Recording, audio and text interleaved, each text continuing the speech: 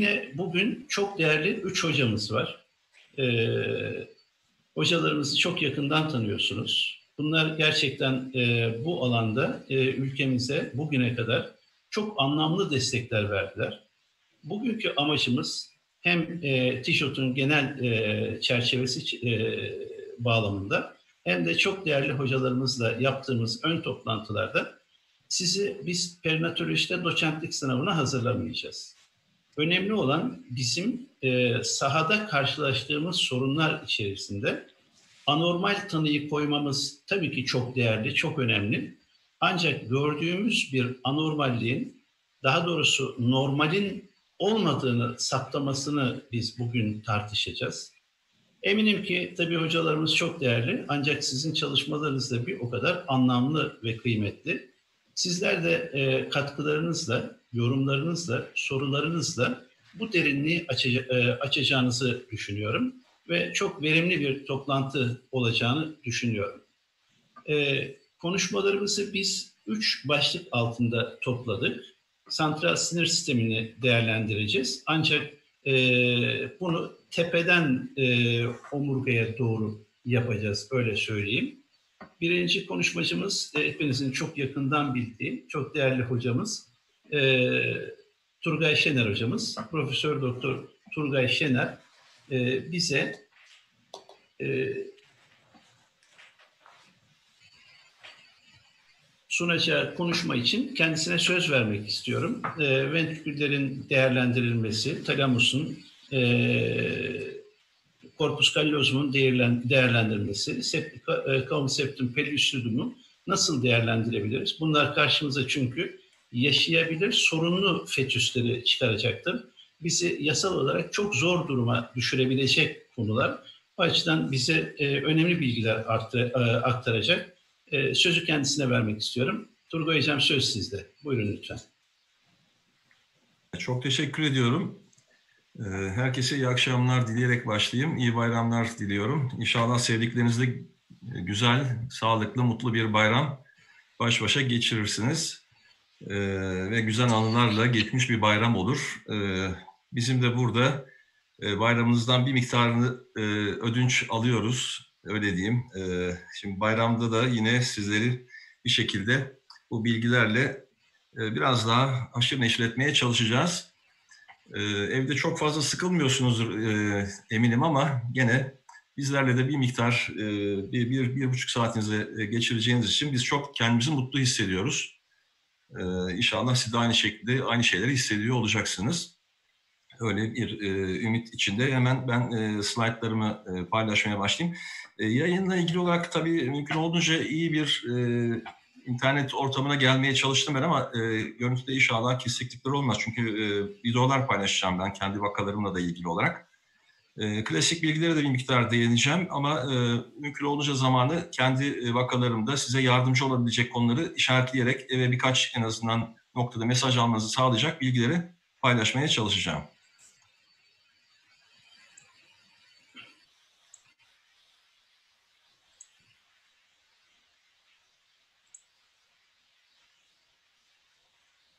Evet. Şimdi e, benim konuşma konum korpus kallosum ve ventriküler sistem. E, bunlar tabii birbiriyle ilişkili. E, burada tabii çok geniş bir konu. Bunu 20 dakikaya sığdırmak da mümkün değil ama ben özellikle sık karşılaşabileceğimiz birkaç örnek üzerinden ilerlemeye çalışacağım. Şimdi kısaca anatomiyi hatırlayacak olursak burada lateral ventriküllerimiz var. Bir fetal beyni burada görüyoruz şematik olarak. Ön boynuz, arka boynuz, ve e, bakın burada aşağıya bir foramenle, daha doğrusu iki taraflı foramenle üçüncü ventriküle bağlantımız var. E, daha da aşağıya dördüncü ventriküle Silvius aqueductile bağlanıyoruz. Ve daha da aşağıda dördüncü ventrikülden çıkışlarımız var. Bu şekilde bir sirkülasyon içindeyiz. Yani bu bölgelerdeki olabilecek herhangi bir patoloji e, bize ultrasonografiye e, olumsuz olarak görüntülerle yansımaya başlıyor. Bu kısa hatırlatmadan sonra hemen e, şurada bakın bir vakamızda hemen yani gerçek hayat olgularıyla gidelim. Ee, burada lateral ventriküllerimizde genişleme var. Bu vakamızda bir arka fossada e, bir e, bası nedeniyle üçün, aqueduct silvi e, daralması, ödemi ve yukarıya doğru basıncın artması söz konusu. Bakın burada lateral ventriküllerden geçişler. Bu normal vakalarda gördüğümüz görüntüler değil tabii. Biraz özelliği olduğu için bunları buraya koydum. Üçüncü ventriküle geçişlerimiz bu şekilde bakın. Biraz basınç arttığı zaman uygun kesitlerle bu kanalları görebiliyoruz. Bunlar Monroe'lar. Bilateral olarak iki taraftan geliyor. Sonra üçüncü ventrikül burada. Üçüncü ventrikülden de buradan bu kanalla dördüncü ventriküle doğru geçiş olması lazım. Ama burada bir basın nedeniyle tıkanma olduğu zaman genişlemeye başlıyoruz. Yani burada özellikle bu e, bahsetmiş olduğumuz çizimsel aquadakları burada gerçek olduğunu görmüş olduk. Şimdi ventrikülomegali ile ilgili birkaç e, şey söylemek gerekirse çok sık karşılaştığımız ya da bahsedeceğimiz diğer konulara göre biraz daha sık karşılaştığını karşılaştığımızı düşündüğümüz e, bakın görüntüler bunlar. Ventriküllerimizi e, hafif orta ya da şiddetli olarak genişletebiliyor. Özellikle buradaki lateraller. Bunları zaten biliyorsunuz. Sizler de takip ediyorsunuz. Şu şekilde.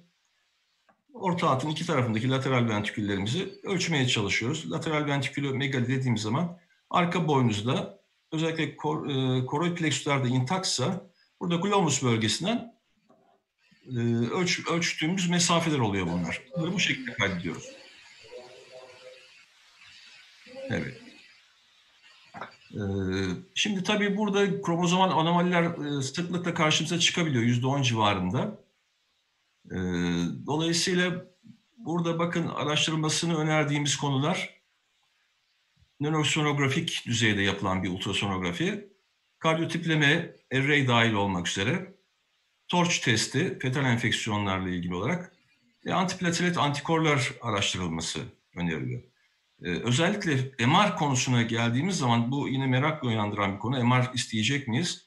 Özellikle 26-28'den sonra MR bize olumlu sonuç vermeye başlıyor. 32. haftadan sonra nöronal migrasyon daha net belli olma, olmaya başladığı için lisensefalit tanılarını bu aşamada koymaya başlıyoruz.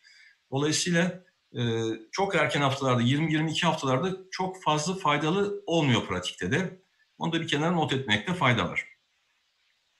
E, prognoz konusunda yani birlikte başka anomaliler varsa, ek anomaliler varsa özellikle de kromozomal aberrasyonlar söz konusuysa prognoz biraz daha kötüleşmeye başlıyor arkadaşlar.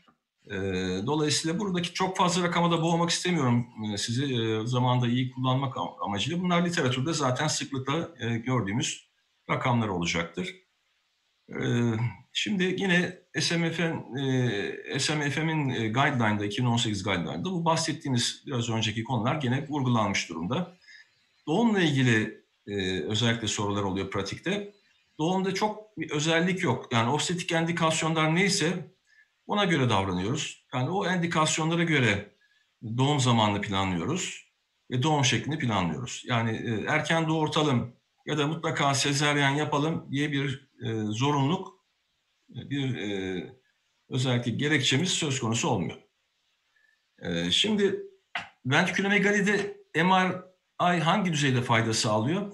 Yani standart aksiyal tek kesit alıp burada bakıyorsak ek anomaliler bulunabiliyor yüzde 16 civarında ama eksper düzeyinde bir nörosonografik düzeyde e, yapılan bir anomali tanısında, e, taramasında katkı çok az oluyor.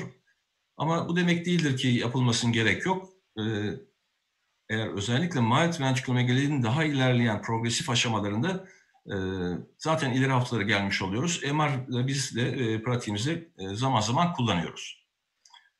Şimdi bir başka intrakraniyal e, bakın ortamda genişleme söz konusu. Bunlar çok erken ortamda kafada bu şekilde bir görüntü görüyorsanız bu holoprozensafiliye büyük olasılıkla işaret eder. Dolayısıyla çok da 8-9-10 haftalarda acele etmeyeceğiz tabii. Özellikle rombensefalon görüntüleri açısından ama artık 11-12 haftadan sonra e, şurada belki 14-15 haftalar var ama şurada 11-12 haftalar e, bu tanıları koyabiliriz. Bunlar da bakın gözümüze çok bariz şekilde batan tanılar olmakta. Dolayısıyla intrakraniyal anekoik bölgeler e, üzerinde özellikle önemli durmamız gereken e, bölgeler olmakta. Şimdi e, özellikle holoprozensifide kromozomal aberrasyonu çok yüksek olduğu için mutlaka kardiyo tüplemek gerekecektir. Ama prognoz ne yaparsak yapalım kötü. Bu bebeklerin büyük bir kısmı intrauterin ya da neonatal dönemde kaybediliyor ya da termine ediliyor yani bir şekilde. Bunlar termine edilebiliyor. Şimdi yine e, anekoik bir bölge bakın kafa içinde. Bu tek kesitte ne bu ventrikülomegalim ya da başka bir kistik lezyon mu? Ama color Doppler'i de kullanmayı unut, unutmayalım. Bakın şurada color Doppler bayağı yüksek hızlarda e, şey akım veriyor. Dolayısıyla şöyle bir hipoekoik alan gördüğümüz zaman bunu yetinmeyelim. Lütfen color Doppler'i ya da düşük akımlı bir yere ölçecekseniz power Doppler'i mutlaka devreye sokmamız gerekiyor. Bunlar bunları görür görmez Galenberg'in anevrizması tanısını koymak son derece kolay. Dolayısıyla bu opsiyonu da ultrasonografideki, e, ultrasonumuzdaki bu opsiyonu mutlaka kullanmamız gerekir.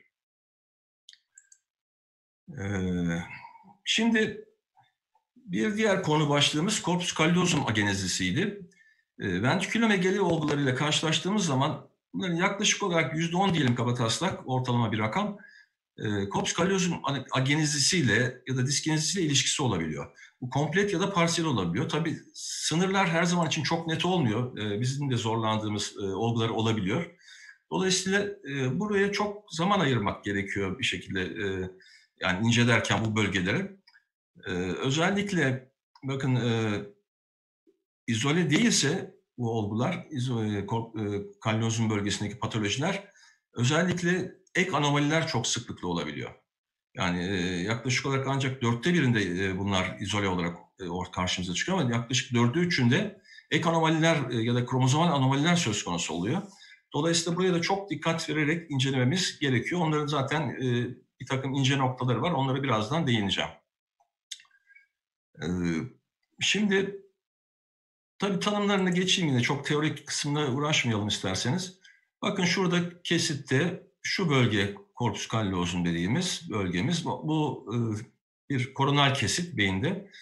Şu yine koronal kesit ya da sagital kesit. Biz e, kesitlerimizi ultrasonda bunlarla yapmaya çalışıyoruz. E, bu aksiyel kesit bize bir fikir vermiyor. Çünkü tamamen düz bir plan üzerinde gidiliyor ve bunun yararı yok bize tanısal açıdan. E, dolayısıyla onu kullanmıyoruz. Şimdi MR görüntüsünde biraz daha bu net belli oluyor bakın. Bunlar gerçek MR görüntüleri. Ee, bu korpus callosum'un da dört parçadan oluştuğunu görüyoruz. Orta parçalar ilk başta oluşuyor. Daha sonra rostrum ve splenium oluşmaya başlıyor. Ee, bunların bu şekilde sagittal kesitte görüntülerini biz ultrasonografide almaya çalışıyoruz ve eğer şüphelendiğimiz bir olgu varsa burada e, durum söz konusuysa o zaman da bu e, bölgeleri ölçmeye çalışıyoruz. Şimdi ölçtüğümüz bölgeler e, özellikle body'yi yani ölçmek biraz daha kolay oluyor. E, dolayısıyla şu bölgeleri ölçerek şu yaklaşık 1,5-2 mm civarındaki e, olan ölçümlerimizi yaparak şüphelendiğimiz olguları da tanıya biraz daha netleştirmeye çalışıyoruz.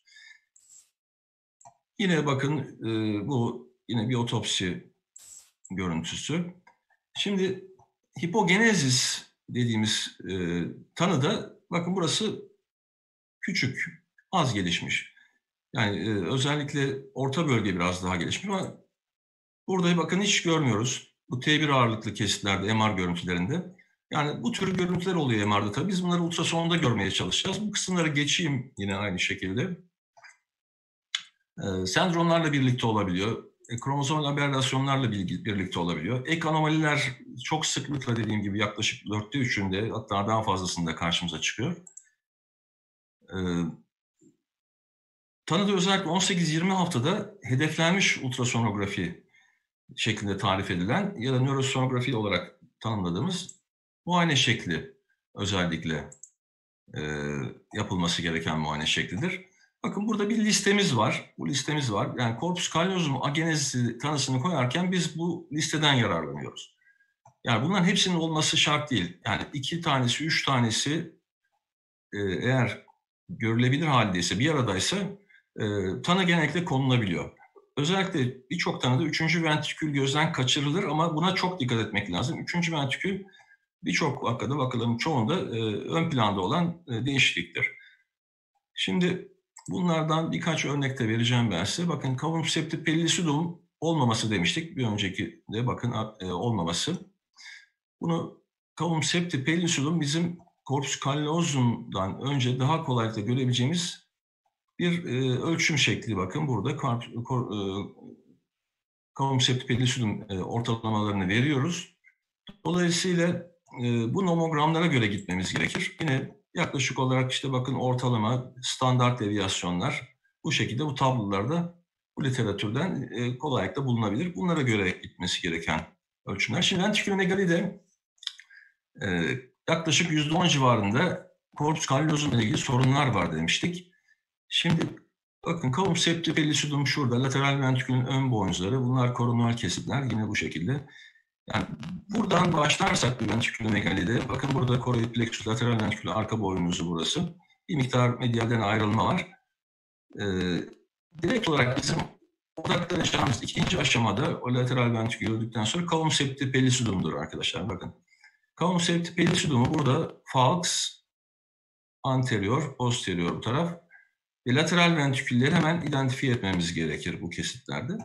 Özellikle şu lateral ventrikülün ön boynuzunun kavum septipellisudumla bu membranlarıyla direkt komşu olması e, korpus kallozum agenezisi konusunu hemen hemen ekarte ettirici bir bulgudur. Bakın yani pratik bir nokta olarak söyleyeyim ben size. Çünkü burada kavum septipellisudumla lateral ventriküllerin ön boynuzları arasında korpus kallozum agenezinde bir açılma olur. Yani genişleme olur. Direkt komşuluk olmaktan çıkar burası. Dolayısıyla pratik bir nokta eve götürülecek sizin bakarkenki ultrason muayenelerinize noktalardan birisi budur. Bir ikincisi... Hocam orayı bir daha tekrarlar mısınız lütfen? Bizim hep tabii. zorluk çektiğimiz alan. Evet, lütfen. Evet. E, tabii tabii, memnuniyetli. Şurası bizim aksiyel kestiğimiz beynimiz, falx cerebri. Lateral ventrikülü biraz geniş gördük biz. Bunu şu anda ölçmedik. 10 milimetrenin üzerinde diye düşünelim biz bunu. E, ventrikül megali tanısı için sınır olarak aldığımız değer.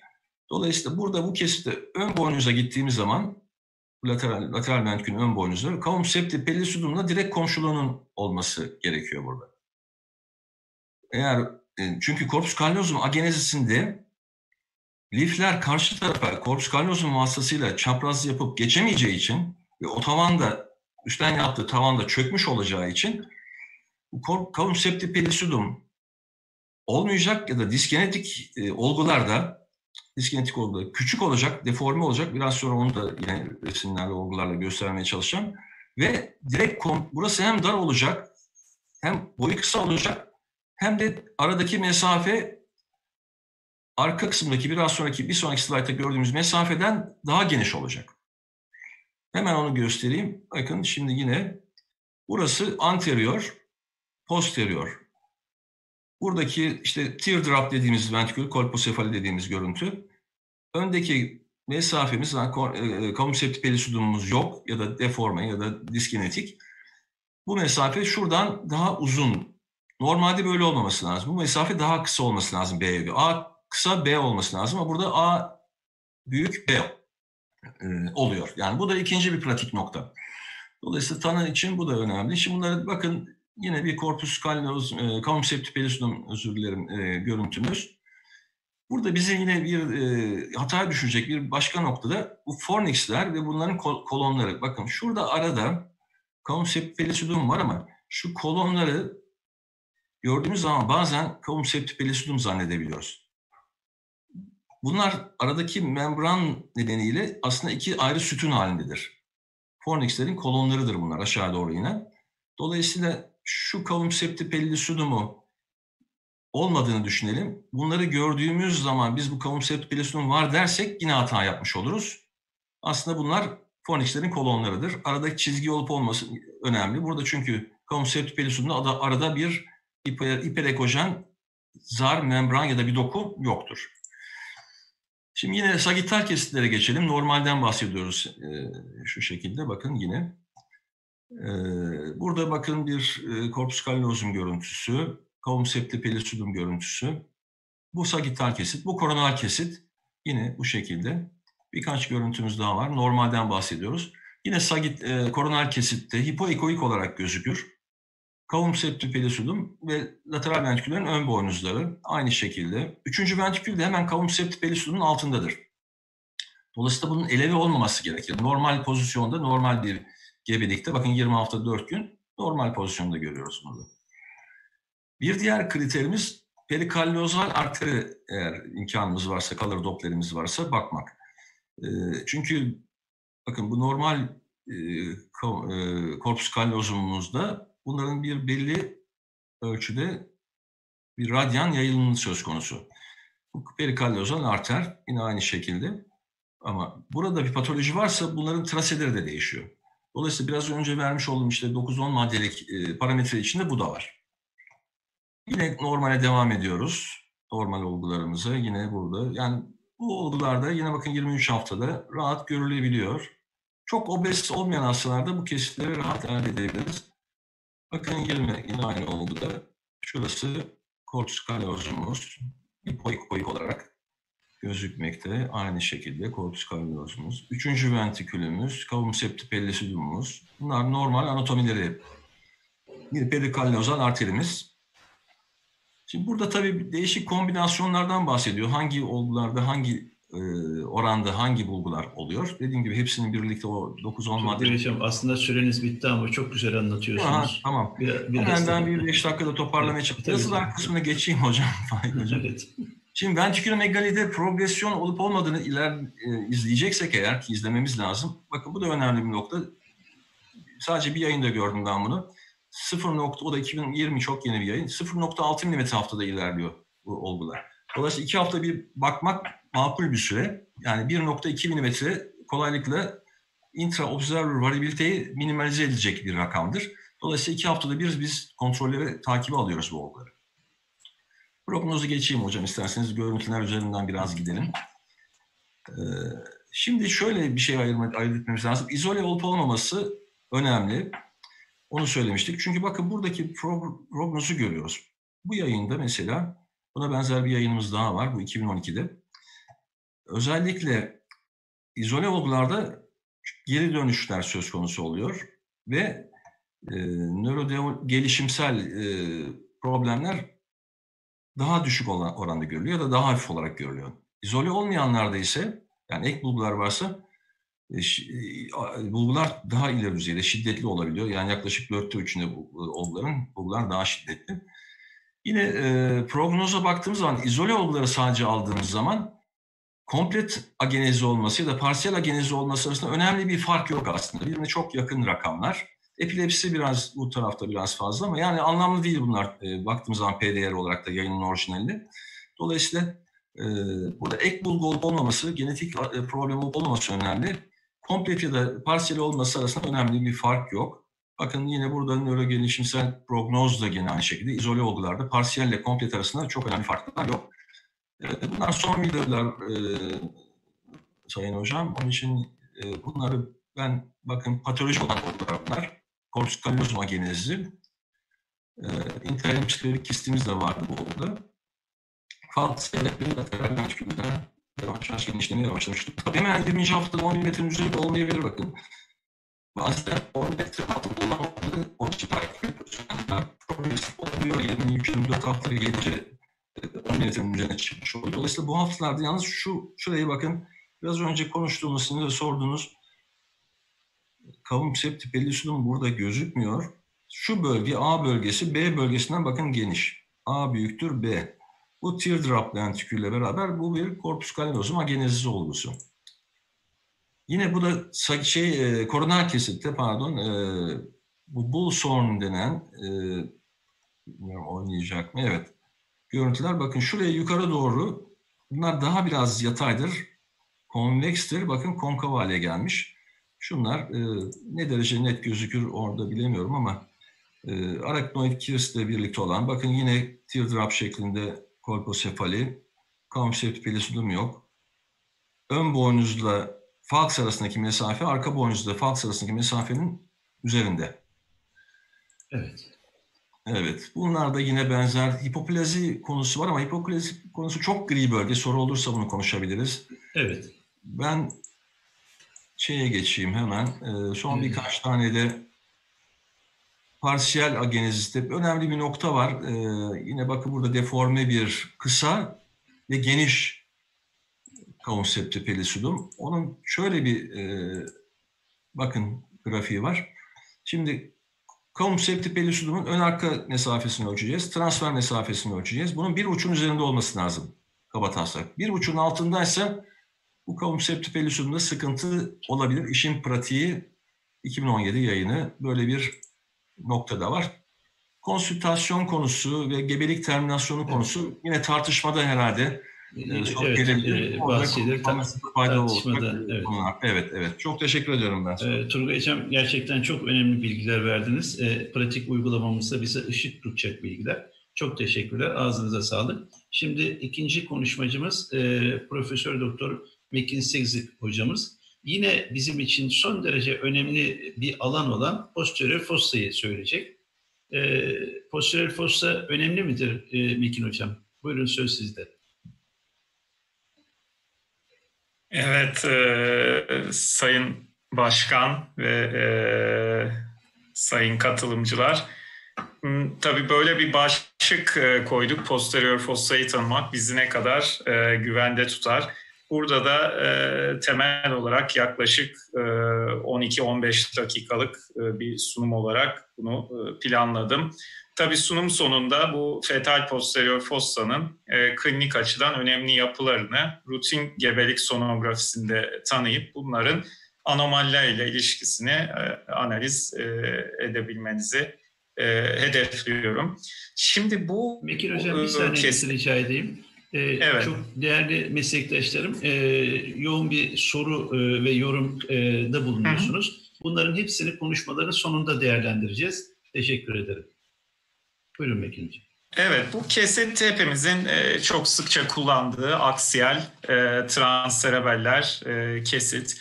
E, 24 haftada e, alınmış e, bir e, görüntü. Şimdi tabii her ne kadar e, bunu çok sık kullansak da biraz daha e, belki bazı ölçümlerde ve buradaki anatomik yapılarda biraz daha e, dikkatli olmamız gerekiyor.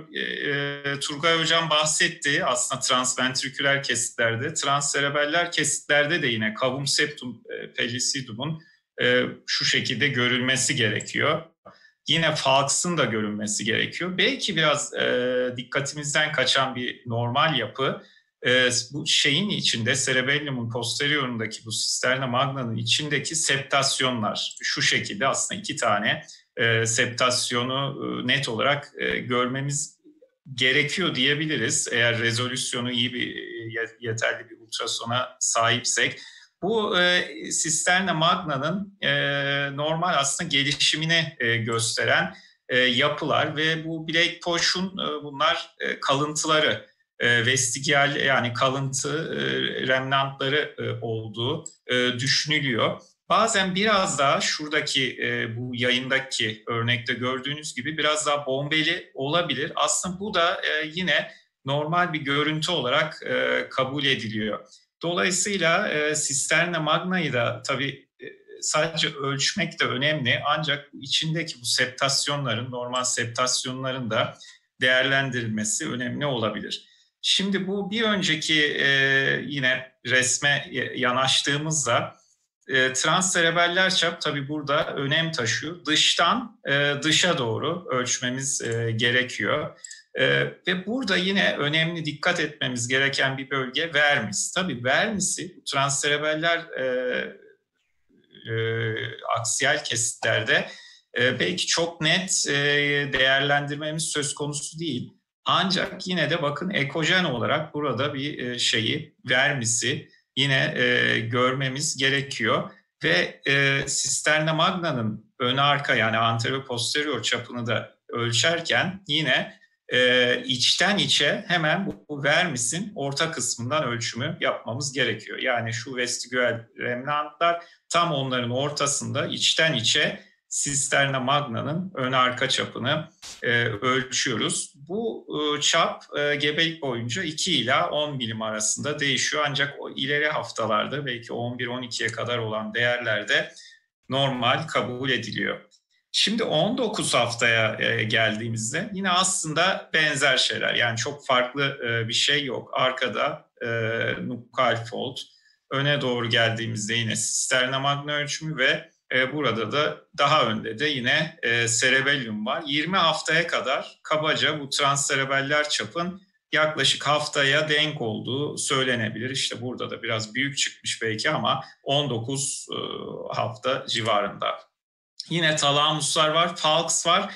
Cavum septum pellicidum biraz hafta erken olduğu için burada o kadar e, belirgin değil. Dolayısıyla bu da normal bir bulgu. Yani tekrar şu ölçümlerdeki şeyi e, vurgulamak istiyorum. Çünkü çoğunlukla yanlış ölçüm nedeniyle e, ya da yanlış plan alınması nedeniyle işte mega sisterna magna hatta e, nukal fold artışı e, şeklinde e, çok sayıda bize sevkler olabiliyor.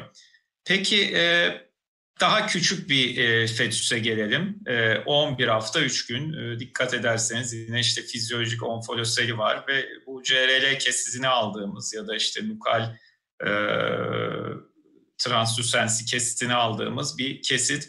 Burada değerlendirilebilir mi? Tabii değerlendirmek için yine öncelikle e, dikkat etmemiz gereken bir şey yaklaşmamız. Yani bu da yine sıklıkla ne yazık ki e, yapılan, yaptığımız, hepimizin yaptığı e, bazen bir hata. Bu CRL ölçümlerinde veya bu haftadaki fetüsü incelerken çok uzaktan değil şu şekilde yaklaşmamız e, gerekiyor. Aslında burada da yine bir e, önceki 19 ve 25 haftadaki yapılar e, yine burada mevcut. E, sadece biraz daha belki dikkatli bakmamız gerekiyor. NT az çok tabii biraz erken hafta olduğu için belki çok çok belirgin değil ama şu alan.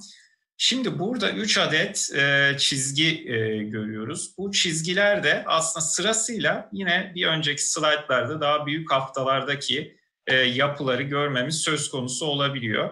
Sırasıyla sisterna magna, dördüncü ventrikül ve e, beyin sapını e, şu şekilde görebiliyoruz. Bu dördüncü ventriküle işte intrakraniyal translusensi adı e, da veriliyor. Şimdi e, tabii üstte de aslında bir çizgi daha var.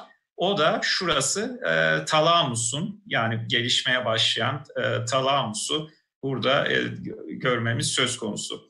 Dolayısıyla bu kesidi uygun şekilde bu NT kesidini aldığımızda belki bu üç çizgiye yaklaşık birbirine ölçümleri yakın. Tabii çok fazla ölçümlerine vesaire burada girmeyeceğim ama şu şekilde bu üç çizgiyi görmeye çalışmak e, bu posterior fossa e, anomalilerinin erken haftalarda bize taranmasını sağlayabilir. Eğer e, bu anatomik yapıda, bu dizilimde bir bozulum varsa işte bunlar tabii nöral tüp defektleriyle ilgili ama yeni yayınlarda diğer post, posterior fossa anomalilerinin de e, bu dizilimde e, bozukluğa e, yol açtığını şey yapıyor, gösteriyor. Şu şekilde burada sisterna magna yine burada e, gözükmekte. Şimdi o zaman e, sisterna magna önemli bir yapı. E, tabii diğer adı bunun cerebello medüller sistem aslında en büyük sarnıç sistem. E, sarnıç demek Magna'da büyük yani en büyük e, beyin omurilik sıvısı sarnıcı. Ön tarafında şuradan baktığımızda beyin sapı var. E, pons, ponsun e, arka yüzeyi var. Posteriorunda ise cerebellum'un infer, e, inferior e, vermis kısmı var ve üst kısmında da yine üste doğru yine e, dördüncü ventrikülü e, görüyoruz ve bu e, aslında Turgay Hoca'nın bir ilk slaytlarında da vardı ama o üst kısmı anlattı. Ben böyle biraz daha inferiora doğru geliyorum. Dördüncü ventrikülle sisterna magna arasında da yine bu foramen magendi dediğimiz geçiş noktası var. Şimdi yine şu 11 haftadakiyle şuna baktığımızda bizim aslında şurada aldığımız şu NT kesidi şuna yakın bir kesit. Yani yine sisterna magna'yı görüyoruz, dördüncü ventrikülü. Bunların tabii başlangıç e, henüz e, oluşum aşamasındaki görüntülerini şurada elde etmemiz e, söz konusu oluyor. Yani erken haftalarda da aslında buna bakıyoruz. Şurada aslında şu sisterna magna ile dördüncü ventrikül arasındaki işte e, foramen magendi'nin oluşmaya e, başladığı kısım bile aslında e, gözlenebiliyor dikkatli e, bakıldığında. Şimdi o zaman e, önemli bir bilgi bu İSYOG'un e, şeyinden çeviri, İSYOG'un e, diyeyim yönergelerinden gebeliğin bu erken dönemlerinde vermis dördüncü ventrikülü tamamen kapatmıyor. ve bu durumda vermiste gelişim kusuru olduğuna dair hatalı bir izlenim e, yaratabiliyor. E, ancak 20. haftadan önce bu sıklıkla normal e, bir e, bulgu yani şu cerebellumun e, inferior ver, vermisi henüz gelişmediği için e, dördüncü ventrikül ve sisterna magna kesitlerde devamlı olarak gözükebiliyor. İşte tipik örneği bu örneğin 15 haftada e, alınan eski de nispeten eski de bir yayın. Sistern burada yine arka e, posterioru, başın e, arka kısmı, sisterna magna ve dördüncü ventrikül şu şekilde gözükebiliyor ve bu normal bir bulgu. Yani bunu bazen erken haftalarda 14, 15, 16'da bu şekilde kesitler elde edip e, işte Dundee-Walker sendromu vesaire şeklinde e, sevkler gelebiliyor. Bu kesit tamamen e, normal bir kesit. E, yine başka bir yayından aldım. E, şu şekilde şu sarı OmniView ile alınmış kesitler. E, normal cerebellum, bu normal aksiyel kesitimiz. Biraz daha şu şekilde inferiora kaydırdığınızda bakın bu açıklığı normal açıklığı e, görmeniz söz konusu olabiliyor. Yine sisterna magna ve dördüncü ventrikül.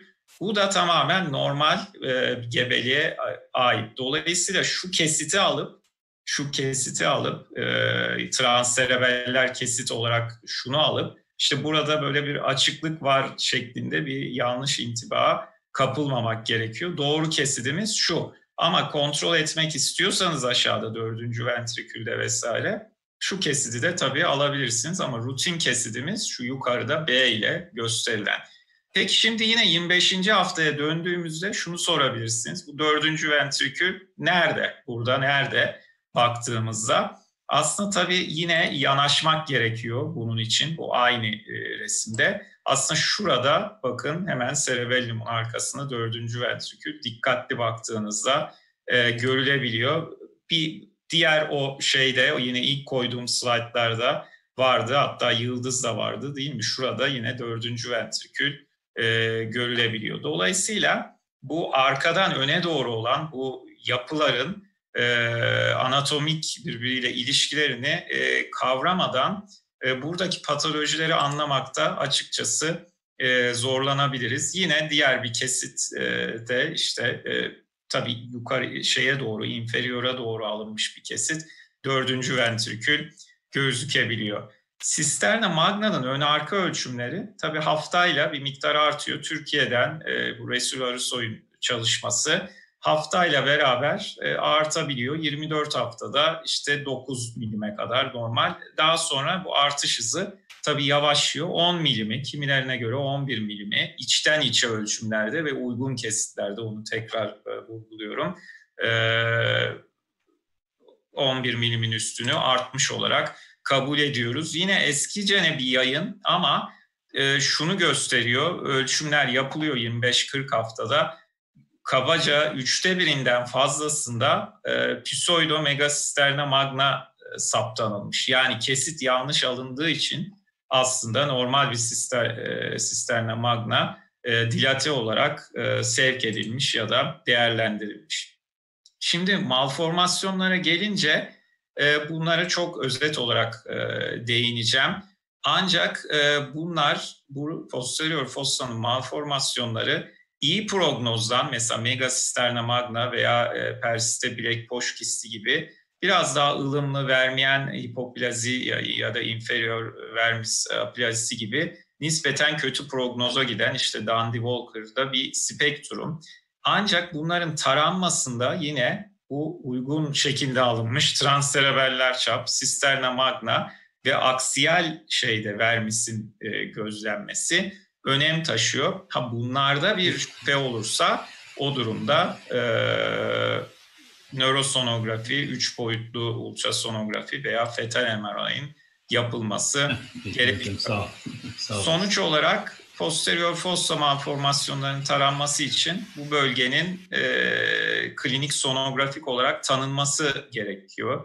Ve yine tekrar vurgulamak istediğim bu aksiyel kesitte bu sisterna magna dördüncü ventrikül devamlılığı 18-20 haftadan e, önce sebat edebilir. %10'unda bu açıklık e, normal olarak, normal varyasyon olarak gözlenilebilir.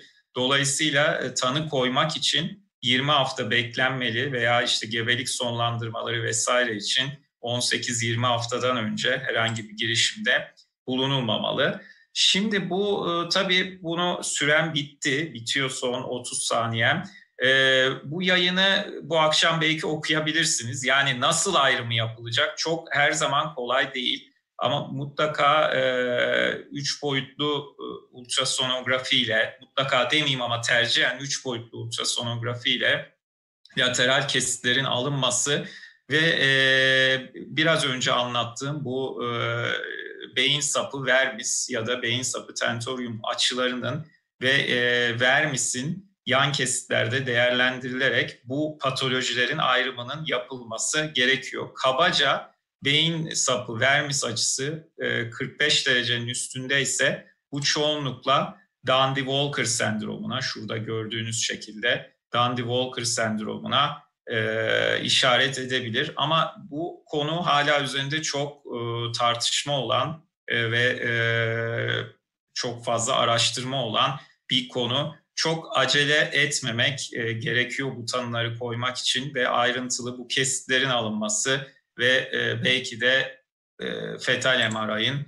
yapılması e, gerekiyor. Sisterna magna böyle çok düzensiz bir yapı. Bu da bizim son bir test çalışmamız şu an e, uluslararası dergide e, değerlendirmede Sisterna magna'nın bu vokal e, tekniğiyle 3 üç boyutlu hacminin hesaplanması. Yani şu şekilde çok e, şey aslında ilginç e, ve irregüler bir, bir yapı. Dolayısıyla bunu incelerken de bu anatomik e, bağlantılara çok dikkat etmek e, gerekiyor. Çok teşekkür ediyorum. E, Mekin Hocam çok teşekkürler. Ağzınıza sağlık. Sağ olun, var olun. Çok önemli bilgilerdi. Şimdi e, Atalı Hocam, Atalı Ekin Hocamız e, bize nöral tüp defektlerinin sonografik bulguları ile ilgili bilgi verecekler. Atalı Hocam buyurun. Teşekkürler hocam. E, çok yoğun soru ve yorum geldiğini size söylemek istiyorum. Ben de bu vesileyle bizi izleyenlerin bayramını kutluyorum. Peugeot Yönetim Kurulu Müşteri'ye tekrar nazik davetiniz için teşekkür etmek istiyorum. Atıl Hocam sesini biraz daha açabilir misin mümkün mü? Peki hocam. Evet. Ee, şimdi fetal nöral tüp defektleri aslında oldukça geniş bir konu. Çok fazla patoloji var. Ee, tek tek patolojilerden bahsedeceğim. Ee, öncesinde embriyolojiden e, kısa bahsetmek istiyorum. Gebeliğin 3-4 haftasında embriyonun orta arka bölümünde ektoden farklılaşarak nöral öteden planı oluşturuyor. Daha sonra bu nöral öteden kendi etrafında katlanarak ileride beyin ve spinal kordu oluşturacak nöral tüp meydana geliyor. Bu süreçte gebeliğin yaklaşık 6 ila 7. haftasında tamamlanıyor. Kapanma işlemi e, genelde servikal bölgede orta hattan başlayarak hem kraniyele hem de kalbaya doğru ilerliyor.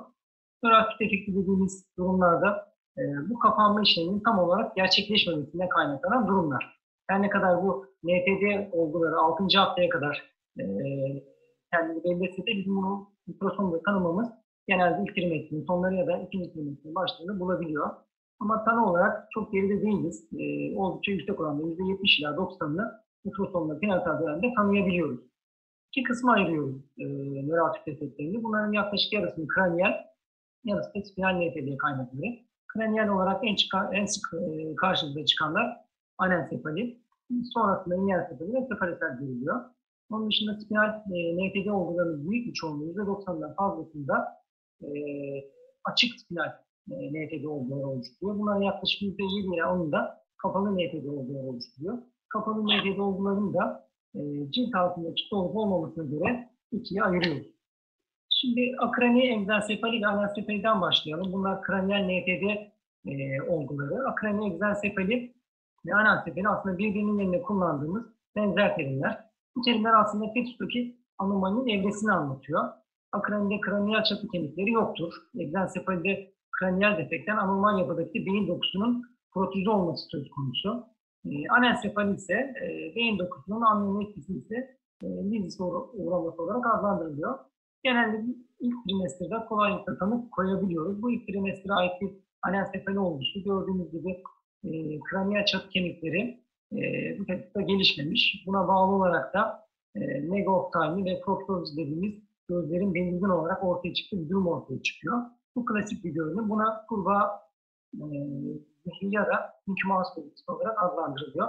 Genelde e, ilk kelimesidir sonlarına doğru kanı koyabiliyoruz. Bazı durumlarda e, özellikle makat girişlerde e, tam olarak görüntüleyemeyebiliyoruz ama burada e, transvajiler e, ultrasonu kullanabiliriz.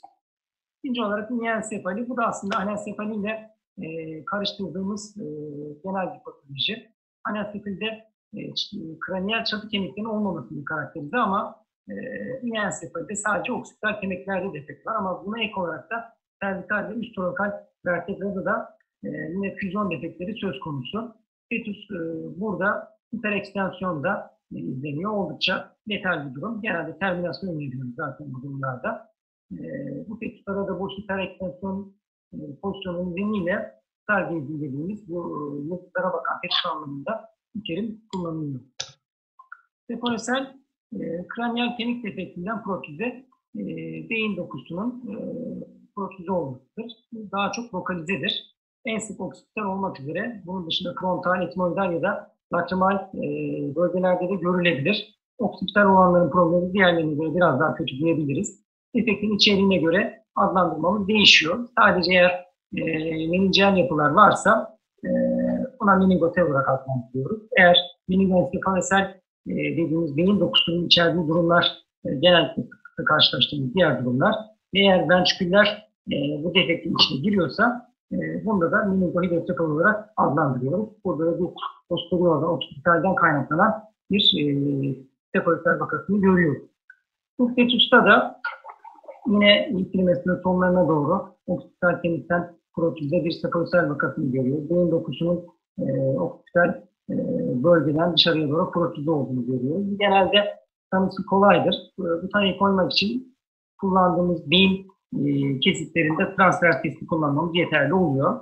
E, daha çok kistik higroma ile karıştırabiliyoruz ancak kistik higromadan farkı kistik higromada kemik defekti yoktur ve fetal boyun e, tam olarak e, çevrelenmiş oluyor.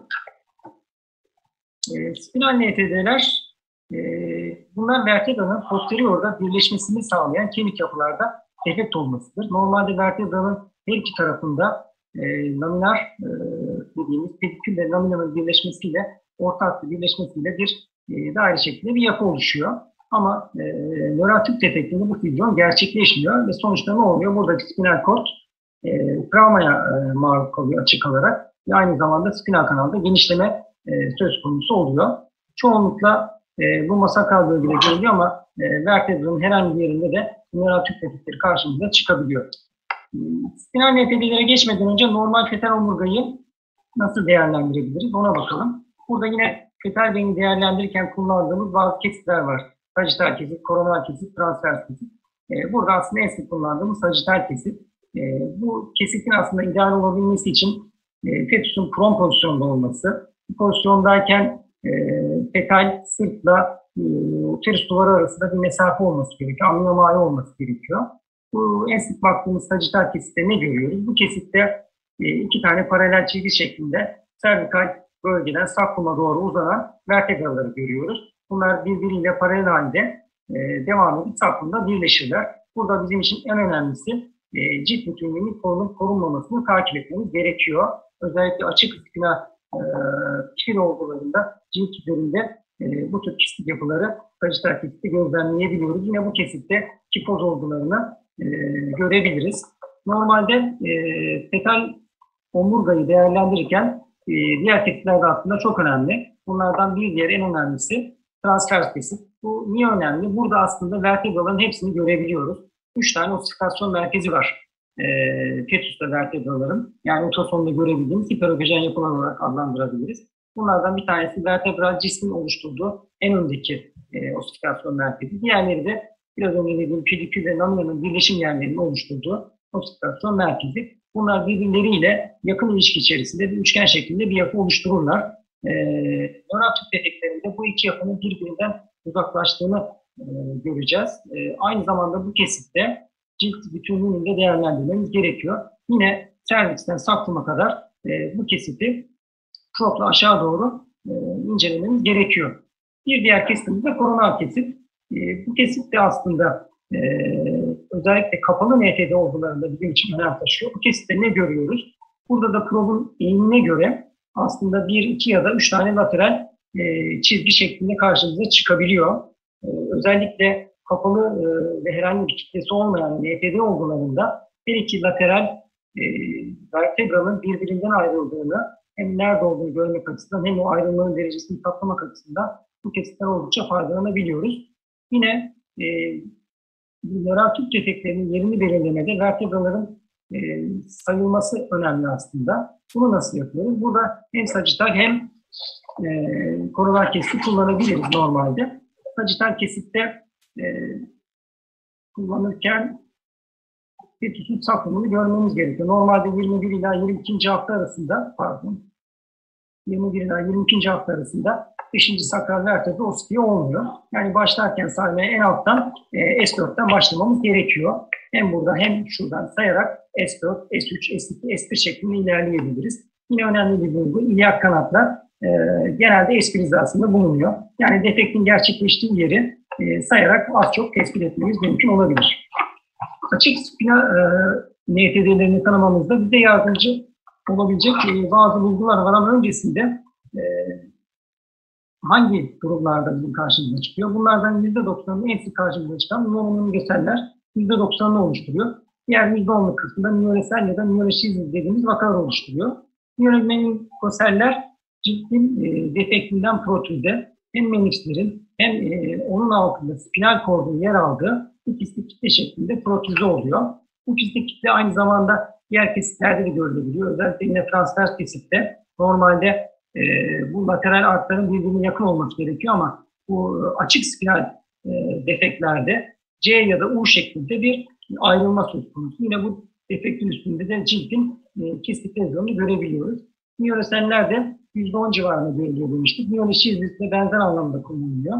Buradaki önemli sorun e, spinal kordun üzerindeki e, çevreleyen zarın olmaması. Bu zar e, olmaması nedeniyle amniyotik e, mayenin zararlı etkilerine daha fazla aslında maruz kalınıyor. En şiddetli formu aslında bu. Burada herhangi bir kistik kitle söz konusu değil.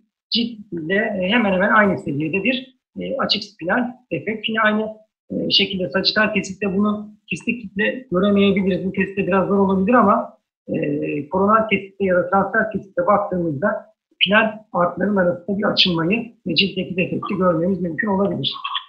E, açık spinal NTD'leri tanımamıza bize yardımcı olacak çok önemli kraniyal indirekt bulgular var. Bu olgularda cilt ve cilt altındaki bu defekt nedeniyle amniyon mahisine e, boz kaçağı oluyor. Basınç düşmesine bağlı olarak da serebeller vermiş, sterlamanlar, dördüncü ventrikül ve beyin sapı dediğimiz posterior post elemanları koroner manduldan aşağı doğru yerleşiyor. Buna CR2 malformasyon diyoruz. Serebellum normalde gördüğümüz o papyon şeklinde görüntüsünde değil, mut şeklinde ya da buna nasıl dediğimiz e, bir şekle e, benziyor. Onun dışında yine e, bu basınç değişikliği sebebiyle frontal kemiklerde bir çökme görüyoruz.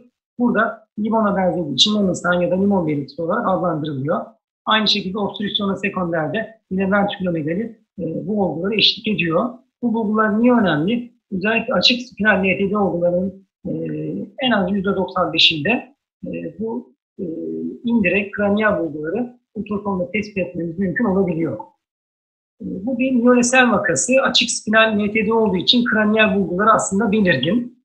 E, burada frontal çökmeyi görüyoruz. Limon belirtisi. Yine ventrikulomegalisi mevcut. Cerebellum'a baktığımızda e, cerebellumun o klasik e, papyon görünümünde değil, Branagh dediğimiz artık posterior post aşağı çökmüş, iyice büzüşmüş şekilde e, bir görünümü mevcut. Yine sagittal kesite baktığımızda belirgin bir kifosu e, mevcut ama burada herhangi bir e, kitle benzeri yapı göremiyoruz. E, transfer kesite baktığımızda da her iki lateral e, vertebraların artlarının arasındaki açılmayı görüyoruz. Üstte de ciltte defek olduğunu söyleyebiliriz. Bu da bir miyomeningasel vakası. Sacital kesitte de e, lumbosakral bölgede e, ciltten protüze e, kesik kitle şeklinde görülüyor. Tanısı aslında kolay, açık e, bir MTD olduğu için kraniyal bulgular da eşlik ediyor bunlara. E, şüphelendiğimiz durumlarda özellikle sacital kesitte bunları görebiliyoruz. Yine aynı şekilde transfer kesitte baktığımızda bu lateral hatların birbirinden ayrı olduğunu söyleyebiliriz. kapalı spinal MTL'lerin tanısı, e, bunların aslında tanısı biraz daha zor. Bunun sebebi de boz kaçağı olmadığı için biraz önce bahsettiğimiz o kraniyal indirek bulguları gör, gör, görmüyoruz. İzole vakalarda anatomi normal. E, buna ek olarak da bozda bulunan ATP ya da asitil kolinesteraz enzimi amniyon mahiyetine geçemez. Bu enzimle ATP e, normalde açık nöral tüp hastalarda normalde sigmaternal sorununda artmaya başlıyor. Amniyosentezde bunların seviyesine baktığımızda yüksek olduğunu görüyoruz. Ama e, kapalı MT'de elimizde e, bu tarama testini kullanamıyoruz. Ancak iyi tarafı kapalı MT'deler açıklara göre prognozları biraz daha iyi. E, bunlar da iki şekilde e, tarif edebiliyoruz. Bir tanesinde su tutan kitle e, var. Diğerlerinde su tutan kitle yok. Su tutan kitle olması aslında açık MTD'ye benzeri bir görünüm e, yapmasına rağmen kanada bizim için kolaylık sağlıyor. Ama kraniyal bulguları yok. Burada meningosel, lipomiyonsel, nörositosel mevcut. E, eğer su tutan kitle yoksa bunlar tanı olarak en zoru. Finansal ultrasonda bunları tanımamız e, bazı durumlarda mümkün olabiliyor. E, bunlarda herhangi bir kitle yok. E, dediğimiz biraz önce bahsettiğimiz indirek bulgularda gözlenmiyor. E, meningosel kapalı NT'lerin çoğunu oluşturuyor. Vertebral defektten sadece menixler e, protezi olmuş halde görülüyor. Burada yalnız e, meningomiyotelden farklı olarak cildin intakt olduğunu görüyoruz. Hem sacılar hem de transfer testiklerde e, bu görüntüyü izleyebiliriz. Lipomiyonsel ya da lipomeningomiyonsel Bunda aslında görüntü olarak meningosele çok benziyor. Burada farkı e, cilt altında bir lipom söz konusu. Bu lipom menixlere ve nöral dokuya bir bası yapıyor. E, bu temasın nöral dokunun içinde ya da dışarısında olmasına göre nörosel ya da lipomeningomiyosel olarak adlandırılıyor. Görüntü olarak meningosele çok benziyor. Ancak kraniyal bulguları e, açık MTD'den ayırmak için kraniyal bulguların normal olduğunu söyleyebiliriz. E, özellikle bu vertebrada görülen liponlar ikinci trimesterde e, normalde biz liponları hiperogjen şekilde görmeye alışkınız ama e, bu da bazen her zaman gözükmeyebiliyor. Üçüncü trimetre kadar ulaşabiliyor. O yüzden tanı koymakta çok fazla e, mümkün olmayabiliyor. Biz genelde böyle durumlarda MR'dan faydalanıyoruz. Miyonetsitosel dediğimiz durumda... Atalı hocam sonlara gidiyorsunuz herhalde değil hocam. mi? Evet, evet hocam. Sevgili. E, Miyonetsitosel e, meningosel kesesi var. Bunun içerisinde spinal kord herniye olarak e, başka bir kistik yapı oluşturuyor. Bu duruma kist içerisinde kist olarak adlandırıyoruz. Ultrason görüntülerinde de yine e, sacital kesitlerde kistik şeklinde görülüyor ama kraniyal bulguları yine normal. E, bu durumlarda miyosistet olarak adlandırabiliyoruz ama bunun da tanısı her zaman mümkün olmayabiliyor. E, özellikle bu kapalı e, MTD'lerde ve substantifte olan olgularda tanıyı çok kolay koymamız mümkün olmuyor. Kapalı spinal e, MTD'lerle ilgili bir e, olgu bu. Burada kraniyal e, bulgularını görüyoruz. Kraniyal bulguları normal bir fetüsün. Cerebellum normal görünümde. CSP'si izleniyor. Ventricule megalisi yok. Lemon sign ya da e, Brown sign'ı izlemiyoruz. Vertebraya doğru baktığımızda sagittal kesitten e, sakluma doğru ilerliyoruz. Bir paralel çizgiyi görüyoruz. Birbiriyle saklumda birleşiyor. Cilt üzerinde herhangi bir defekt ya da kitle e, bunu da görmüyoruz. E, birazdan bir koronal kesite bakacağız. Evet, koronal kesite baktığımızda aslında e, normal olmadığını görüyoruz. Evet, burada e, bu sakral bölgede her iki lateral arkın birbirinden ayrıldığını e, görüyoruz. Normalde herhangi bir kitle olmadan gerçekleşen bir durum. Bu durum bir kapalı, e, substan kitlesi olmayan bir NFD olgusu. E, bu kapalı spinal NFD'lerin en sık sebebi aslında diastometomiyeni dediğimiz bir durum. Burada patoloji aslında e, spinal kordun kemik çıkıntısı ile ikiye ayrılması. E, burada spinal kord üstten ve alttan birleşir ama bulunduğu yerde spinal kanalda bir genişleme meydana geliyor. Bu da yine bizim bir olgumuz, 22 haftalık bir olgumuz. Bu olguda da e, normalde 3 tane osifikasyon merkezi olması gerekirken transfer tetikte ortakta e, bir tane daha e, kemik görünümü karşı bize çıkıyor. Bu diastometomiyeli dediğimiz durum bu. Aynı zamanda bu kesitte genişleme söz konusu. Yine koronal kesite baktığımızda hem diastometomiyeliye sebep olan kemik çıkıntısını hem de koronal genişlemeyi görüyoruz. E, dediğimiz bir durum var. Kısaca bundan bahsedeyim. Bu prognozu etkilediği için önemli. Normalde e, konus medullaris e, fetüslerde ikinci trimesteri L1, L2 seviyesinde görmemiz gerekiyor. Ama açık ya da kapalı nöral tüp defeklerinde konus medullaris eğer aşağıda bir patolojisi varsa yukarıya doğru e, ilerleyemiyor ve aşağıda sıkışıp kalıyor. Buna Petterford ya da gergin omurilik sendromu olarak adlandırıyoruz. Normalde bunu ultrasonda e, görebiliriz aslında. Burada sacital kesitte e, baktığımızda bu e, konus medullaris dediğimiz spinal kordun son kısmı üçgen şeklinde her iki etrafında hiperofojen e, çizgi şeklinde yer alan bir yapı. Alt tarafında hiperofojen kavga ekümeyi oluşturuyor. Bu yapı e, normalde L1 ile 2 arasında sonlanması gerekiyor. E, yine saymaya başladığımızda S4, 3, 2, 1, L5, L4, L3, 3, 2 arasında diyebiliriz. Burada önemli olan 3'ün altına geçmemesi. E, normalde bunu bu şekilde e, subjektif olarak bakabiliriz. Bir de bununla ilgili bazı nomogramlarla özellikle konus medullaris'in e, S4'e kadar olan mesafesi kaplanarak e, normal yerleşim buluyor diye bakılabiliyor. Bu da patolojik bir olgu. E, L5 ile arasında sonlanmış bir konus medullaris. Prognozunda e, ek anomali varsa, kromozom anomali varsa prognoz kötü, açık olursa kapalıya göre prognoz kötü. Açık olanlar içerisinde eğer lezyon seviyesi ne kadar yukarıdaysa prognoz o kadar kötü. Kapalı olanlarda ise seviyesinden çok spinal kordun durumu, biraz önce bahsettiğim o gergin omurilik sendromu varsa prognoz kötü. E, bu da son e, bir iki slaytım. Ayrıca evet, da, evet e, çünkü süre baya geçti. Soru, gereken, soru çok var. Tamam hocam. Sakrokoksiyel teraton. Bu aslında bir nöral tüp defekti değil. Vertebradan kaynaklanmıyor. Foxix'in hemen önündeki e, nöral hücrelerden kaynaklanan bir tümör. Dört tipi var. En sık görülen bu eksternal tipler. E, bunlar çok büyük boyutlara ulaşabiliyor. Lokalizasyon sebebiyle karıştırılabiliyor. Bunlar e, ekstra olarak çok büyük boyutlara ulaşıyor dedik. Buna bağlı olarak hidroz, polidramnot ya da kardiyomegaliye sebep olabiliyor. Bu da bizim başka bir olduğumuz. Bunda da e, vaskülarizasyonu görüyoruz. E, ayırt edici tanıda dediğim gibi vertebranın normal olması, hidroz gelişmesi ya da kitlenin üzerine kalı koyduğumuzda vaskülarize olması e, teraton ile bulgular. E, ben teşekkür ediyorum hocam. Çok teşekkürler. E, Valla üç konuşmacımız da e, son derece önemli bilgiler e, verdi bizlere. E, pratik bilgiler verdi. Hiç kesemedim. Zamanı biraz açtık. E, kusura bakmayın ama e, çok soru ve yorum var. E, Turgay Hocam sizle sanıyorum başlayacağız. E, Nurettin Serinkan, e, Özel Sevgi Hastanesi Paşa Alanı Balıkesir'den. Hocam toplantı için çok teşekkür ederiz. Kavum septum pellucidum görmemiz, korpus callosum varlığı için yeterli mi? Nurettin Serinkan. Turgay Hocam kısa kısa yanıtlar verirsiniz çünkü soru ve yorumlar var. Evet, şimdi tabii ideali e, korpus kalyozumu görmek ama yani rutin akış içinde bunu görmek e, çok e, mümkün olmuyor pratikte. Biraz zaman alması gerekiyor uygun kesitlerin yakalanması.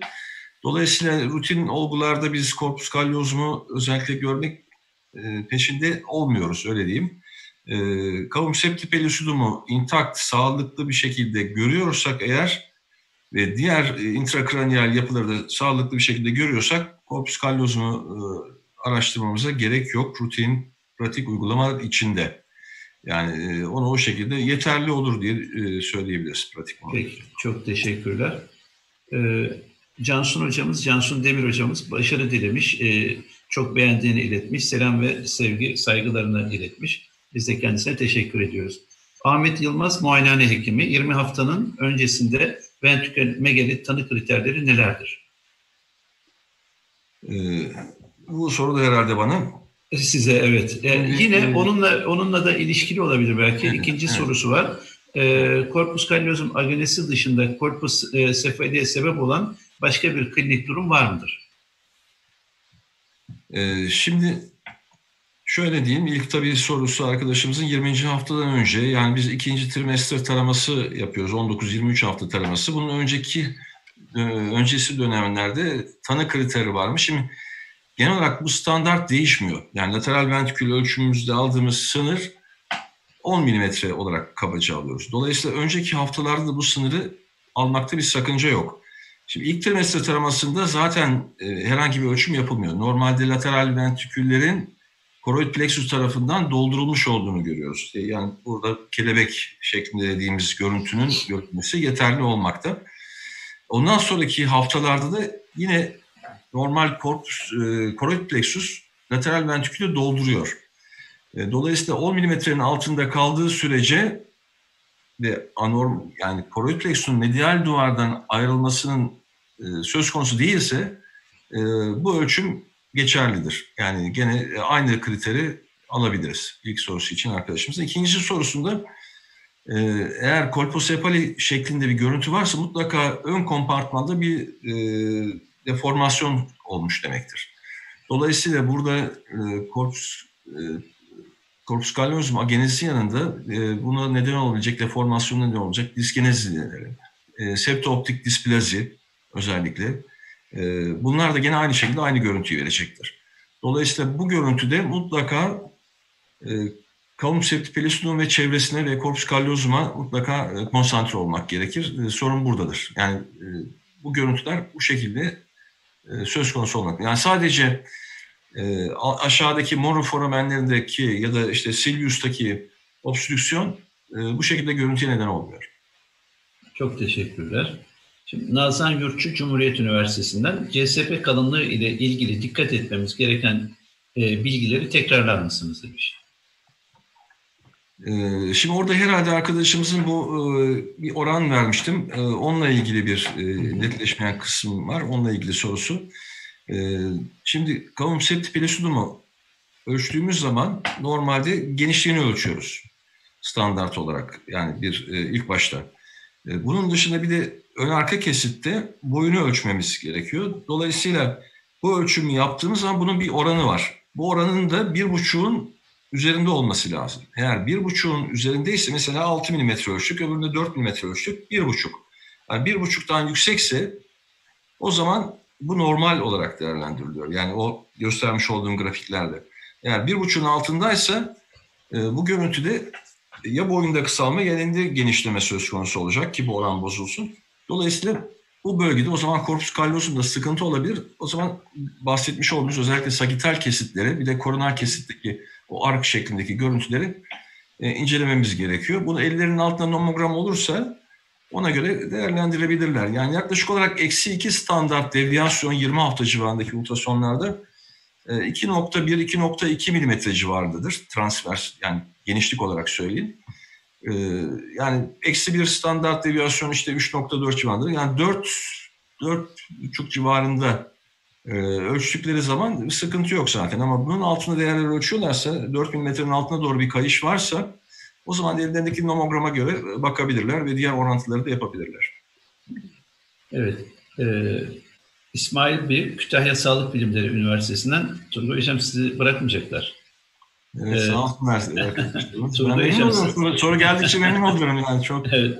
E, Turgay Hocam, sagittal kesitte e, CC, corpus callosum, e, conceptum pellucidum ve üçüncü ventrikülü gösterebilir misiniz? demiş. Ha, evet.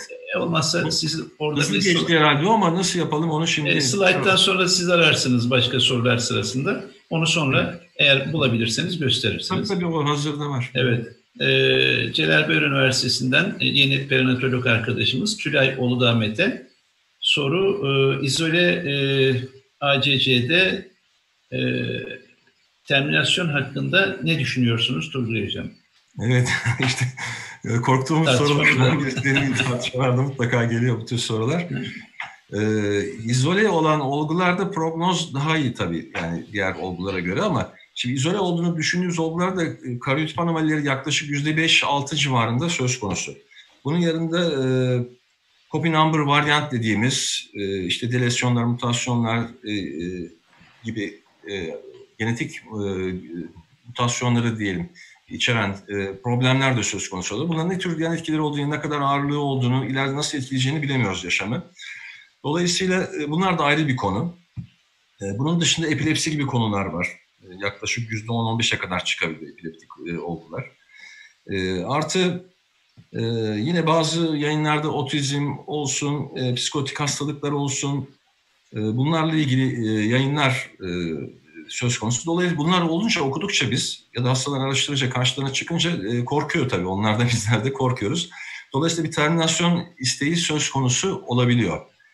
E, şimdi burada tabii tek başına bir hekimin karar vermesinden ziyade bir e, konsey oluşturulması gerekiyor ve konseyde e, pediatristler, neonatologlar, e, nörologlar, pediatrik nörologlar e, bu şekilde birlikte oturup karar vermek ve olgunun diğer ek bulguların olup olmadığından emin olduktan sonra karar vermek gerekiyor. Yani e, siz sadece ultrason bulgusuna dayanarak buna karar verirseniz e, çok bu haklı gerekçeler olmaz. Dolayısıyla MR görüntülerinin de e, raporlarını da dikkate alarak e, karar vermek gerekir. Yani olgu bazında düşünülmesi gerekir. E, genellikle terminasyon konusunda çok sıcak bakmıyorum ben. Aslında e, çok sıcak bakmıyorum. Ama e, mutlaka ek bulgular varsa onun mutlaka araştırılması. Genetik karotip sonucunda onu da şunu tabii hızlı geçtiği için vurgulayamadım. E, evet. Mutlaka mikroevre yap, yapılması evet, gerekiyor. Ere yapılmadığı takdirde bunlar diğer yani ekstra biraz önce söylediğim konular e, saptanamıyor. E, onlarla birlikte genetikçilerle birlikte oturup karar vermek e, en doğrusu. Yani terminasyon kararı kolay bir karar değil. E, bu kişilerin normal yaşamlarının olma ihtimali yaklaşık dörtte üçü normal yaşam sürdürüyorlar zaten. Dolayısıyla e, o dörtte üçlük olguyu da dikkate almak lazım. Yani yaşam hakkı da dikkate almak lazım. E, terminasyon konusunda biraz daha e, güç karar vereceğimizi düşünüyorum ben. E, tahmin ediyorum bizim konseyde bazı bu olgularımız oluyor ve bu olgulara evet. Biz terminasyon yani benim şahsen oyum terminasyon lehine olmuyor. Çünkü e, evet. yani toplumu çok saf, ağrı bir ırk olarak yaratabilmemiz mümkün değil. Evet. Ama hastaya da bir şeyler söylediğiniz zaman ya sen de şunlar bebeğinde ileride e, şu olabilir, bu olabilir dediğiniz zaman e, o zaman terminasyon istiyorum diye karşınıza geliyor. E, madem öyle istiyorum diye geliyor. Yani onların e, bu toplum içerisinde e,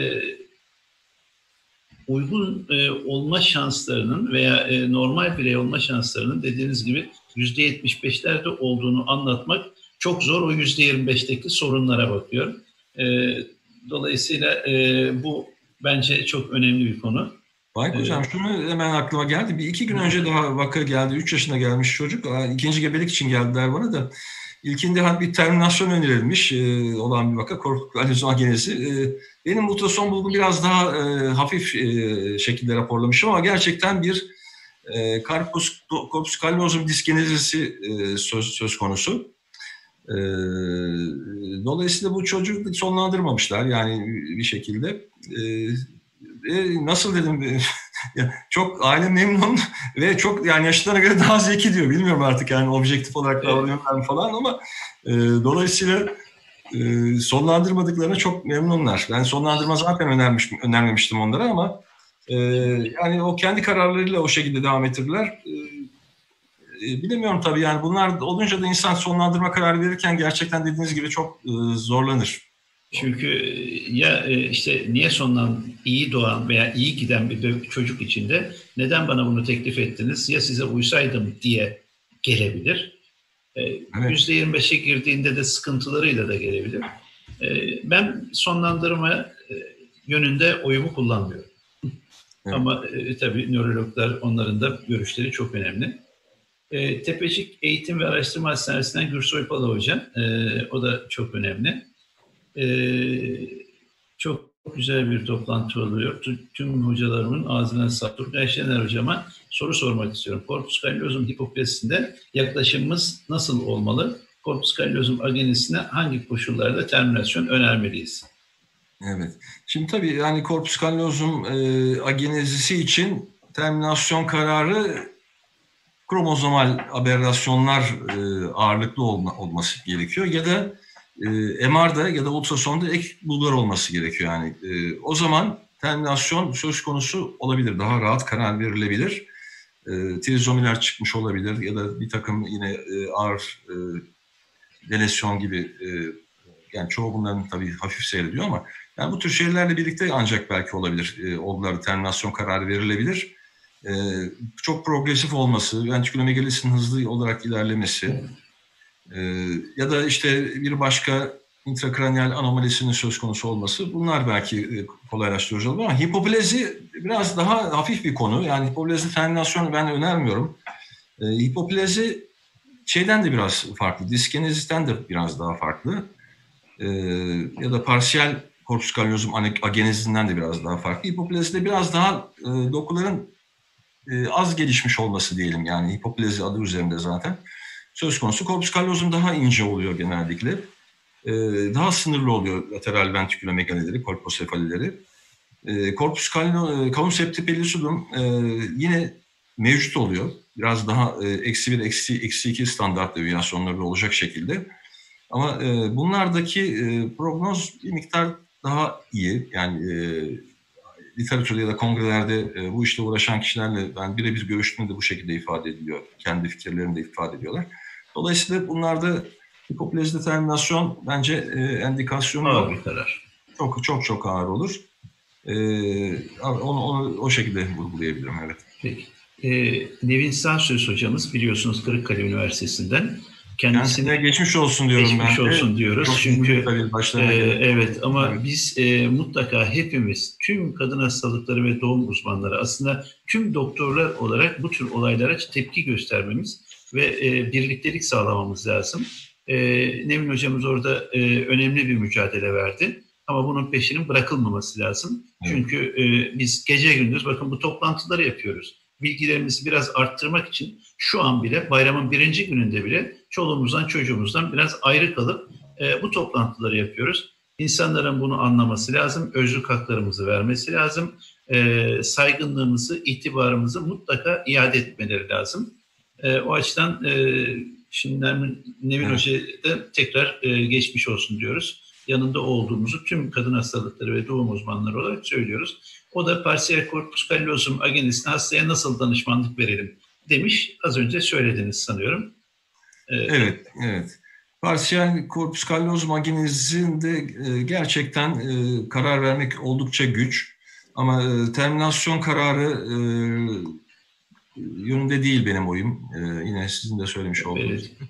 E, onun ağır bir karar olduğunu düşünüyorum. O çocukların da yaşama şansı vermek gerekir ama aileyle de çok iyi konuşmak, anlatmak gerekiyor. Ama işte çok iyi anlatmaya çalıştığınız zaman da ailede iyice korkuyor bu sefer. Kafası karışıyor iyice. İyice kafası karışıyor. Yani öyle orada bir e, sıkıntı oluyor gerçekten. Arkadaşların soruları o yönde yoğunlaşıyor. Haklılar. Gerçekten evet. konseylerde zorlandığımız konular da onlar. Evet. Şimdi e, Manisa Şehir Hastanesi'nden e, Murat Akbaş, yeni perinatolojik arkadaşımız son derece cevherli birisi e, Turgay Hocam korpus kallozum agenesinde array e, komparatif genomik hibridasyon yapalım mı? E, mutlaka önerelim mi? E, yapılamıyor ise sadece karyotip yapılacaksa aileden bunun için onam almak gerekir mi? Onamın sonu yok yani. Evet. ya mutlaka öneriyoruz. İşte yani yüzde altı yediler civarında e, çıkıyor çünkü bu. Ee, yani ya aileye teklif edilecek sonuçta seçenek olarak ya materyal gönderilecek ya aile gönderilecek.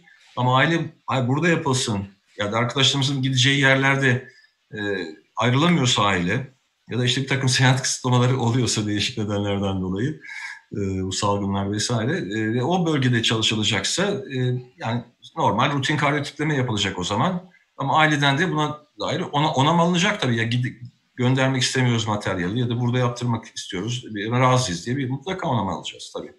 Yine sevgili Tülay, değerli hocalarım, e, e, son zamanlarda kavun vergide anaploidi ile birlikte bir takım konjenital anomalilerin arttığını ve bu nedenle NIP veya amniyosentezle mikroarray önerilmesini savunanlar var. Bu konuda ne dersiniz diyor.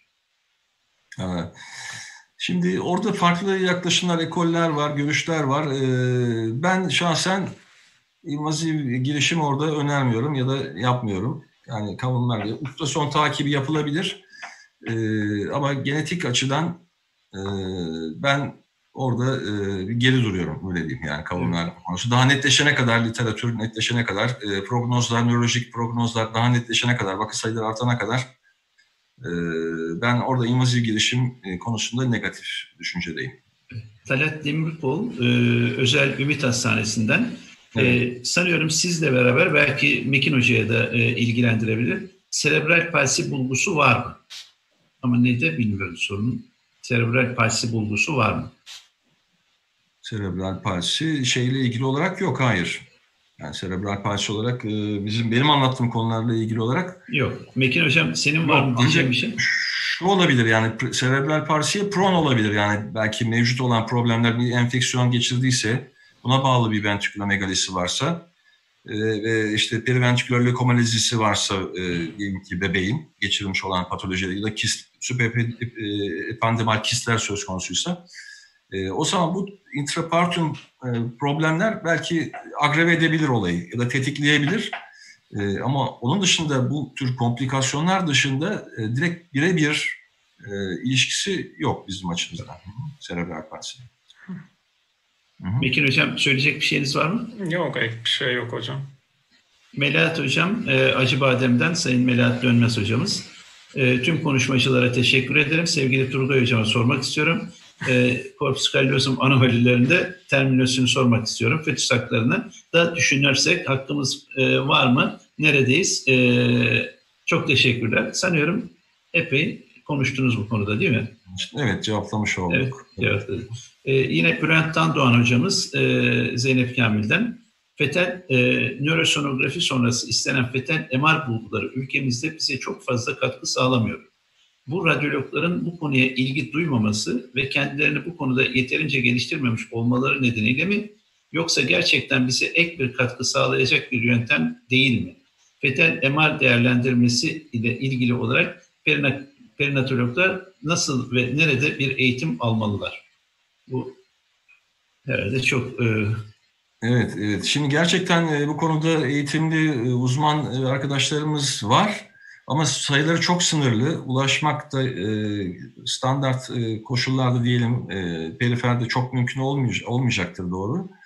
E, ama bir şekilde karşılıklı iletişime geçerek, o yönde yönlendirerek hastaları, yani belli bir e, merkezlerde e, olmasını sağlayarak bu arkadaşlarımızın tecrübelerinin de artmasını sağlamak o da bizim elimizde.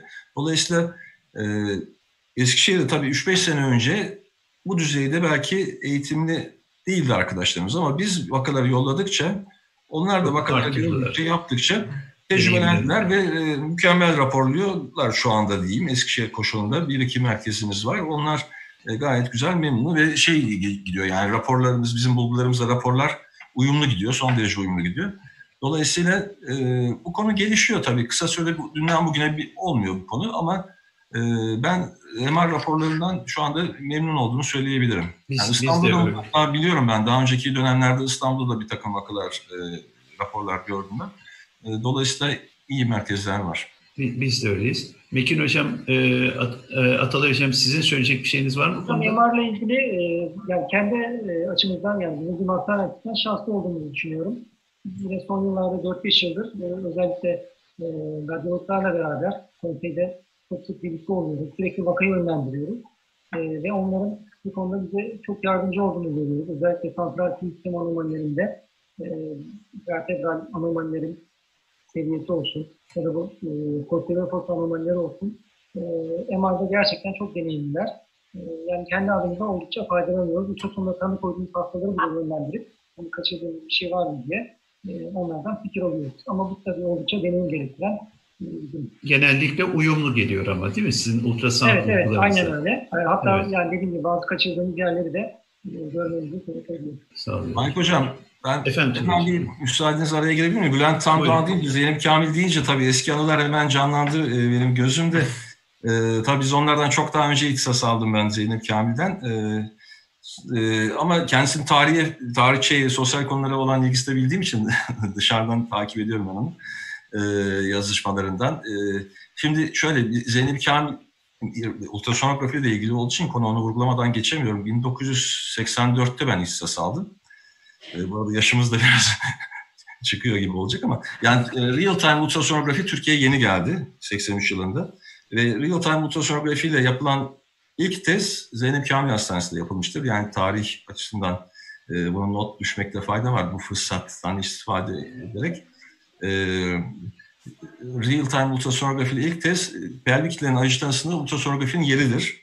1984 e, yılında Zeynep Kamil Hastanesi'nde yapılmıştır. E, yapan kişi de benim bir şekilde.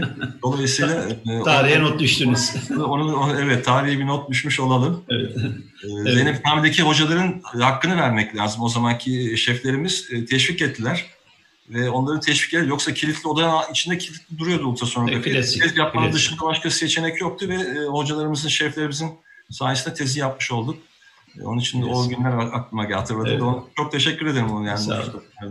Mekil Hocam var mı ilave edeceğiniz bir şey e, Yani bu- MR'la ilgili? Konu çok gelişiyor. Radyologlarla iletişim halinde ne kadar fazla iletişim halinde olursanız bence o kadar iyi sonuç elde ediliyor.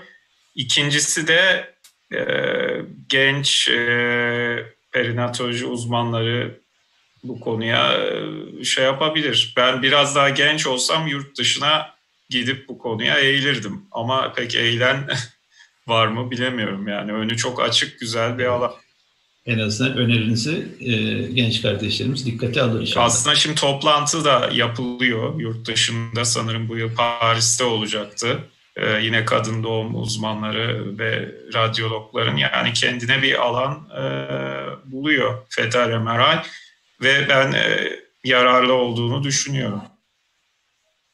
e, artmış dilati e, artmış D. George sendromu neonatal takiplerde %16'ya varan nöro gelişimsel gecikme ile e, bildirilmektedir. Genişliği e, iki standart sapmanın üzerindeki CSP'lerde izole ise nasıl bir tanı ve takip protokolü izleyelim. Şimdi e, trizomi 21 olguları da var bildirilen. Dolayısıyla e, karyotipleme öneriliyor. Geniş ise örneğin artı 2 standart deviyasyon alınabilir. Artı 2 standart deviyasyon üzerinde karyotipleme yapılma endikasyonu var bence. Ben de o konuda o şekilde düşünüyorum. Zaten o iki standart deviyasyon üzerine çıktığı zaman ön arka gene oranına baktığımız zaman zaten korpüskal nozal Evet. diskinezi konusu biraz gündeme gelmiş oluyor ister istemez. E, o yönde de bakmak lazım ama karyotipleme konusunda yine yayınlar var. E, tavsiye ediyorum ben de. Ee, yine Melahat Dönmez hocamız e, aslında tüm konuşmacılara soru. E, nöral tüp defektlerde terminasyon için ne düşünüyorsunuz? E, kısa kısa gidersek çok sevinirim. Süreyi çok açtık aslında.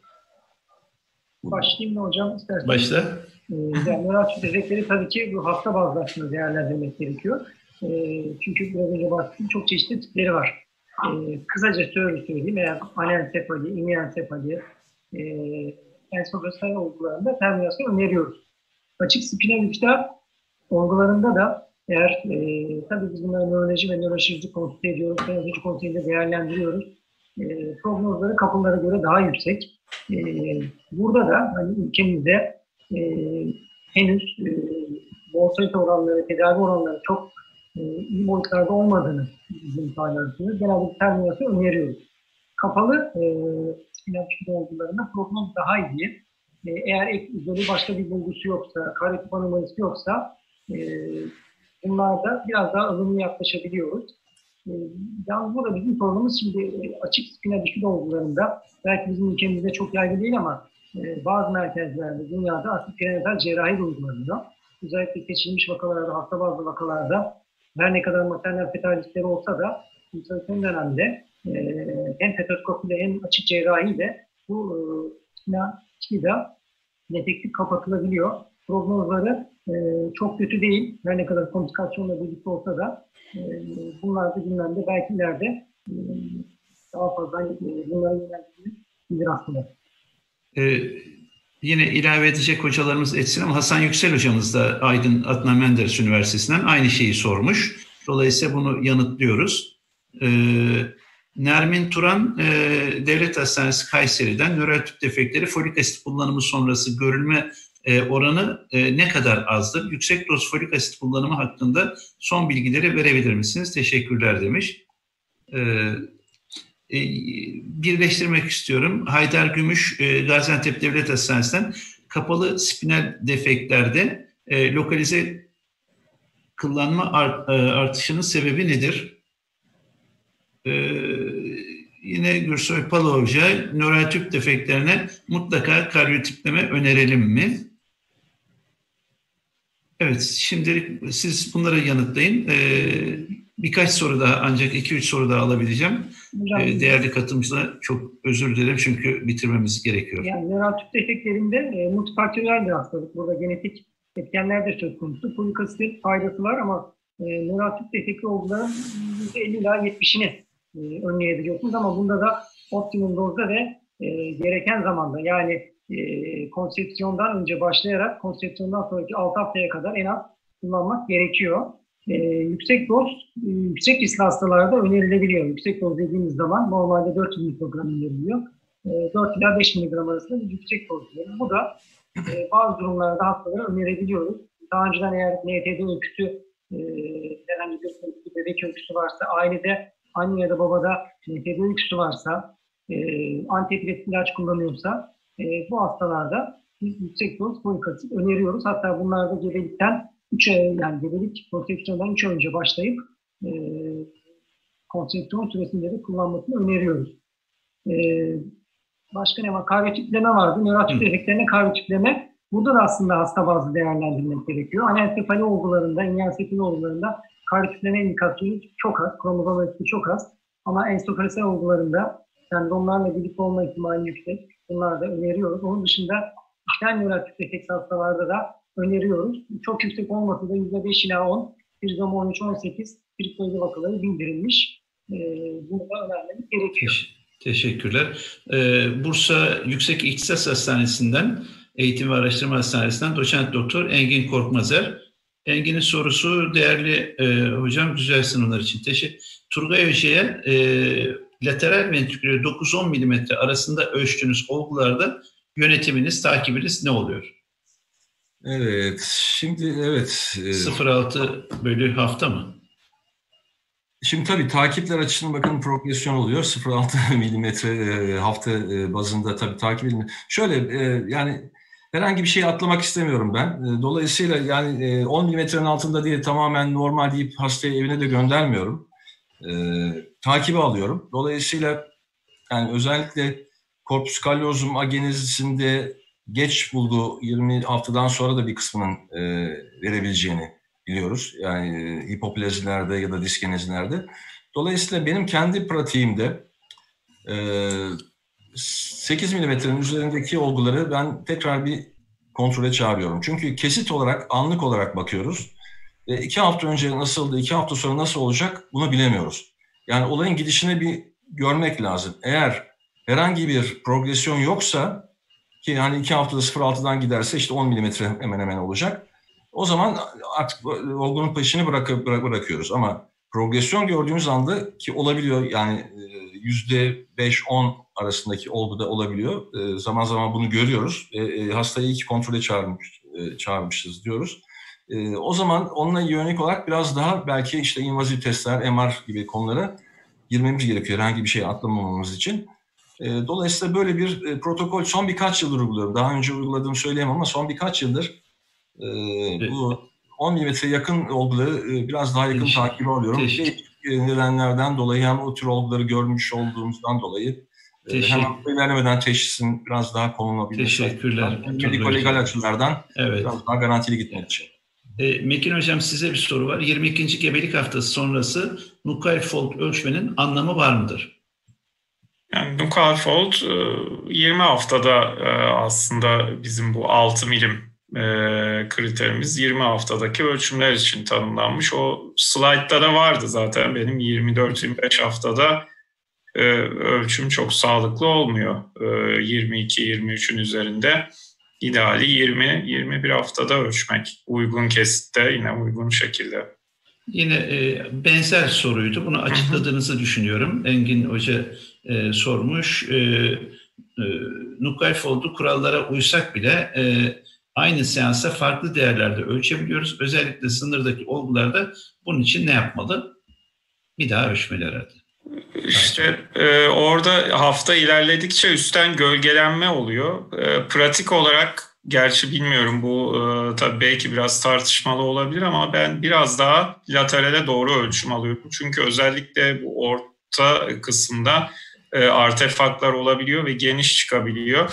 Yani her iki e, şeyde e, yapıyı da iyi görerek, ekojeniteyi daha doğrusu iyi görerek e, ölçmek gerekiyor. Aksi takdirde e, ölçümler bence hatalı oluyor.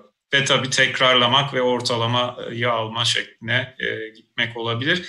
Bir de yan kesitleri de ben bazen kullanıyorum. Yani aynı e, her ne kadar bu önerilmiyor ama e, subjektif olarak e, yan keside döndüğünüzde e, eğer o da e, yan kesitte herhangi bir şey yoksa e, normal gö- görünüm normalse bir boyunda belirgin bir ödem yoksa e, bu ara ölçümler e, 5 milim civarı olan ölçümler e, biraz daha o zaman daha rahat ediyorum o ölçümlerde pratikte. Faik Hocam ufak bir teknik e, katkıda bu, müsaade ederseniz bulunayım. Evet, çok- yani evet. ya, s- şey ko- e, Nukal Fold ölçümünde eğer gölgelenme oluyorsa Hı. o zaman e, falksı tam e, transvers kesitte değil de biraz daha çapraz kesitte alırsak ki Evet. o şekilde öneriliyor zaten yayınlarda da o zaman gölgelenme kalkı ve daha net ölçülebiliyor. Net, yani evet. ufak bir teknik e, ayarlama yapabilir arkadaşlar. O şekilde ölçebilirler tabii. Evet, e, değerli hocalarım, Nevin hocamız e, hepimize e, desteğimizi bilmekten dolayı çok mutlu olduğunu e, bize son mesaj olarak atmış. E, birkaç e, katılımcı e, meslektaşımız daha var ama lütfen bizi bağışlasınlar. Çünkü süre çok doldu. E, çok e, kuvvetli e, bilimsel olarak hazırladığınız tüm e, o konuşmalarınız bence yorumlarla taçlandırıldı, sorularla genişletildi e, güzelleştirildi. E, çok daha e, bence e, lütfen saygısızlık anlamda değil, e, daha değerli bir hale geldi. O açıdan e, sizin emeklerinize ve ağzınıza sağlık derken e, katılımcılardan gelen başta bu yorum ve sorular olmak üzere destekleri için de çok teşekkür ediyorum. Şimdi küçük bir anonsla bitirmek istiyorum e, toplantıyı. O da şu, e, son olarak sanıyorum 300'ün üzerinde bir katılımla e, tamamlıyoruz şeyi, e, sayıyı bu bayramın birinci günde ve çok kısa sürede hazırlanmamızda. E, bu çok iyi. Tüm katılımcılara bu nedenle çok teşekkür ediyorum. E, ayrıca TİJOT'un e, bu webinarları devam ediyor. Yarın akşam saat 9'da 8 tahmin ediyorum. Yarın akşamki de 8'de. Ve e, salı günü tekrar e, salı günkü 9'da olacak. Hepimize mesaj gelecek saatleriyle ilgili. E, bunlara katılıp e, yine paylaşımlarımızı arttırmamız gerekir. İyi olur diye düşünüyorum. Hepinizin emeklerine sağlık, ağızlarına sağlık. Katılımcılara da çok teşekkür ediyorum. Hepinize saygılar sunuyorum. Tekrar iyi bayramlar herkese.